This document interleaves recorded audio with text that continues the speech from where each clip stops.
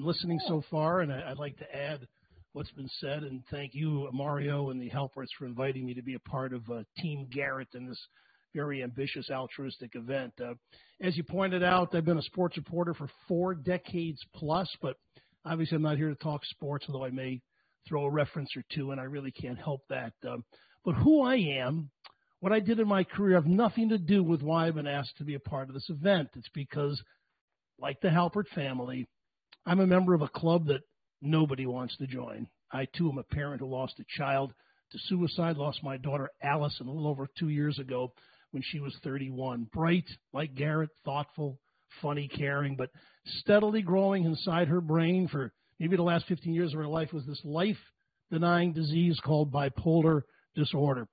I've only had one phone conversation with Scott and Julie Halpert. It was about a week ago, but I knew a lot about them before that because in January, I read a column Julie wrote in the New York Times where she expressed some very powerful truths about our shared situation. So I saved it for, for affirmation in my ongoing journey through grief that the Halperts have been going through and their family too for some time, obviously, the last three years. Julie wrote, she wrote, parents often become immersed in self blame, tormented by thinking about what they could have done differently to prevent the suicide. If your child seemed to be thriving and there were no warning signs, you think you should have noticed them. She went on to say, Despite the agony, my husband and I made a deliberate choice not to surrender to the grief. Wouldn't be fair to our surviving daughters who were grieving the loss of their brother. We needed to stay present for them. And to that I say amen. Bottom line is yes, your family, your world is torn apart. So I'm here today to respect the fight they've waged, which has brought all of us together for this very high minded cause and vision. Uh, early on in my grief, I too realized I had to confront it. I couldn't run from it, like Julie said earlier. I came to accept that Allison really had a terminal disease and that medication, talk therapy, loving family weren't enough to sustain her. She and Garrett had all that anyone could offer them. They had a safety net. They had adoring siblings. They had parents committed to giving them the best life possible. They had great friends like Mario. Whatever it took, all of us tried to do. But uh, despite fighting so hard, having so many people who cared, these two beautiful young people and all the victims of the suicide epidemic still felt, it's incredulous to us, that no life would be better than the one they had. Julie also wrote in that article, she said, uh, Garrett was popular, talented, and loved, yet he felt alone in his struggles. She said, despite our fervent efforts to get him help, he slipped through our grasp. My husband and I had to come to terms with the most brutal outcome for a parent. We could not save him.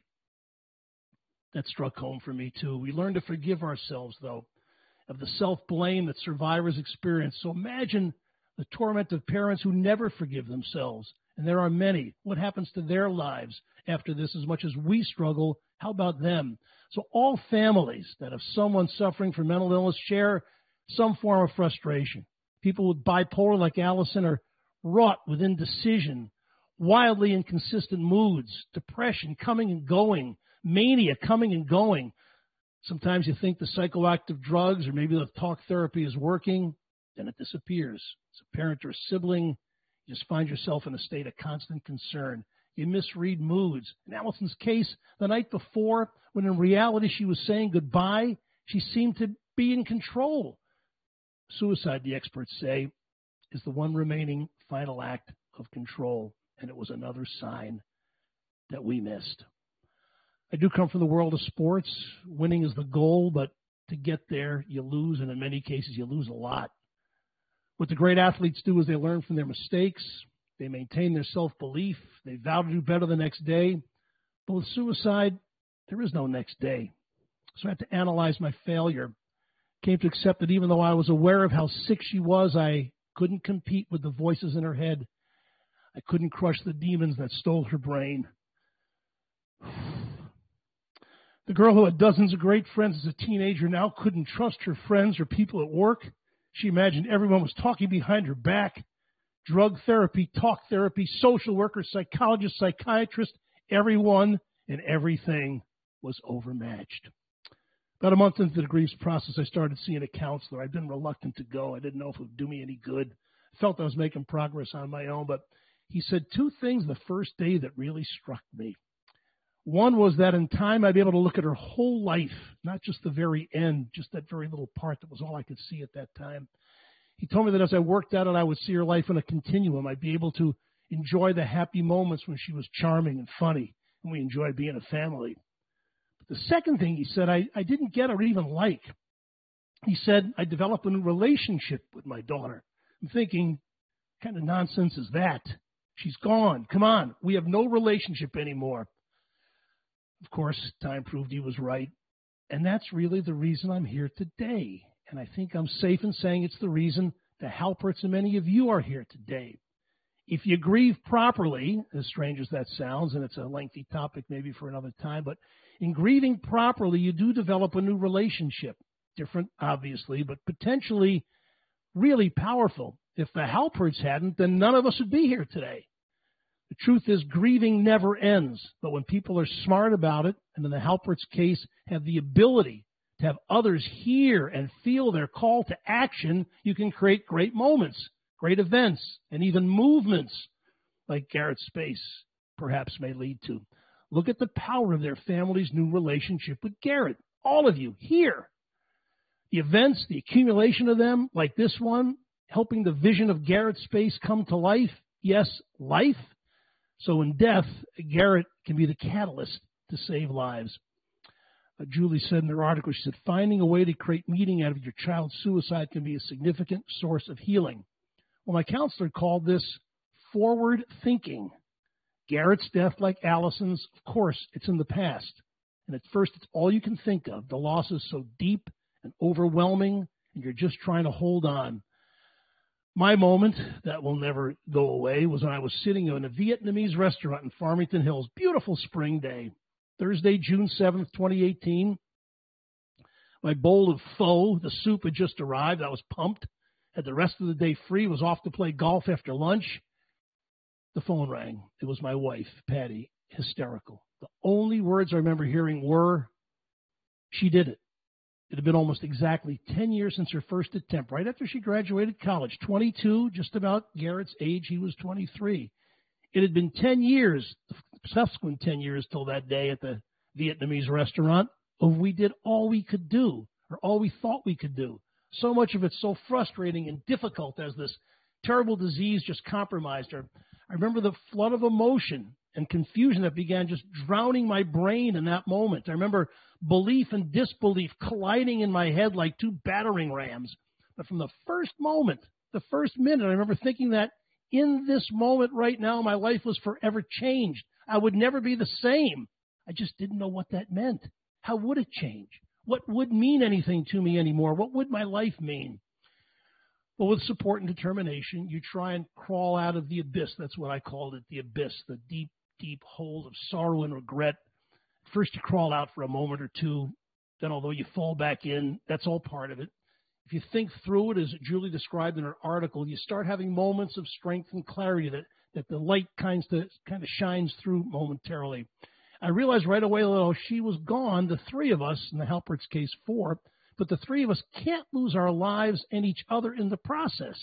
Allison was never coming back. And I remember thinking, Never is a really long time. It is incomprehensible. I looked at my wife and daughter and said, now we have to do what's best for us to get our lives back. We can't lose them also. Allison would expect nothing less. Same with Garrett. We got to decide for ourselves what does life mean now that it didn't mean yesterday? Who am I now? What will I become after this loss, this terrible injury? We've been robbed of our future with her.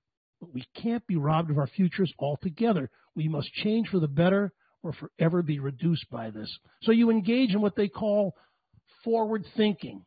The past is filled with pain and regret. There's no hope that we can change the past. Hope only lives in the future. Garrett's space is the future, where lives can be impacted and potentially spared the loss of future, like we lost with Garrett, with Allison and the Halperts lost with Garrett. In her newspaper essay, Julie mentions what I saw in myself. She writes, Post traumatic growth can lead to a greater appreciation for the value of life, of positive changes in relationships, and recognition of one's own personal strength. Well, a couple of months in, I told my counselor that I felt like I was becoming more compassionate, that, that I would have assumed that someone in my position losing something so precious would be bitter. Say things like, why me? What, what a victim? Why am I a victim? Instead, I found myself tipping more in restaurants. Of course, that's back when we had restaurants. I started being more inquisitive about other people and their struggles. And I, I came to see that everyone had something difficult to deal with in life.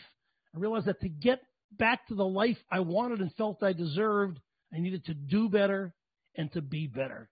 I was here when Allison was alive. I fell down to here. I had to try and be up here in order to get back to the life that I wanted and deserved. My post bereavement level of functioning was becoming higher.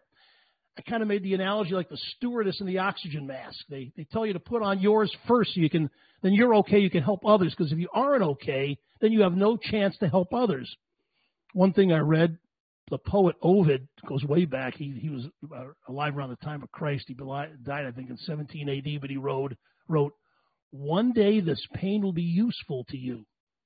Why was the pain useful to me and any of us? Because it made us better people. Garrett and Allison remind us of who we are, where we've been. We utilize the strength of their beauty, brief as it was, to make us better people, to do the most altruistic thing humans can do, which is to give to others." As the literary giant, the late Maya Angelou said, do the best you can until you know better. Then you know better, do better. Simple as that. And that was how Garrett Space was born. The Halperts came to grips, then set out to make things better. Another sports analogy, if you'll spare me. Uh, Kobe Bryant died last February. Sports world mourned. At his memorial in LA, I watched the Shaquille O'Neal agonized over how he failed to reach out to Kobe and match Kobe's interest in him following their rocky last few years together with the Lakers. As I listened, I saw that just days after losing his teammate, that these are the beginnings of Shaq's post bereavement growth. I saw the same thing. He vowed to do better, much better at keeping in touch with people he valued, letting them know that he cared. He didn't feel sorry for himself. Instead, he saw ways that he could do better at the end of her essay, Julie wrote, uh, actually, she said this at the beginning today when she came on. She said, We feel Garrett cheering us on through this. And interestingly, as hard as this is for me to say, in the last night of her life, Alice said, I'm good at bringing people together. We didn't see at that moment that she was actually saying goodbye. She was, in essence, saying she'd be bringing us together by removing the burden she felt she'd become if only we knew then what we know now. Just give me a moment here. I don't know what Garrett's reasons were, but um, no one does. It's because it's multifactorial. It's like tackling shadows. You think you figured it out. I'm sure Garrett's family said, well, he did it because of this, or I think it was this, or I think it was that, and you realize you can't explain it. You, rational thinking doesn't explain the compromised mind of someone suffering from mental illness in this age of COVID. They quoted at the top. I'll say it again because it's such a stunning statistic that one in four young adults between 18 and 24 considered suicide in the last month. It's an epidemic and the second leading cause of death for people 15 to 34. Shocking as it is, it seems to me that contemplating suicide has changed from being a desperate last resort to being an option for some young people today. And that's what we're all up against to try and fight it. So for the Halperts, for the Zarets, and all of the suicide survivors, grief is love lost. And the love all of you feel for Garrett has given him the awesome power. Yes, given him the power to create Garrett space and be heroes that can save lives and keep the families together. Thanks for uh, inviting me to join Mario and the Halperts, and um, I hope everybody else keeps it together today. I appreciate the chance to be with you and best of luck moving forward. And I hope you'll ask me again to help in any way that I can.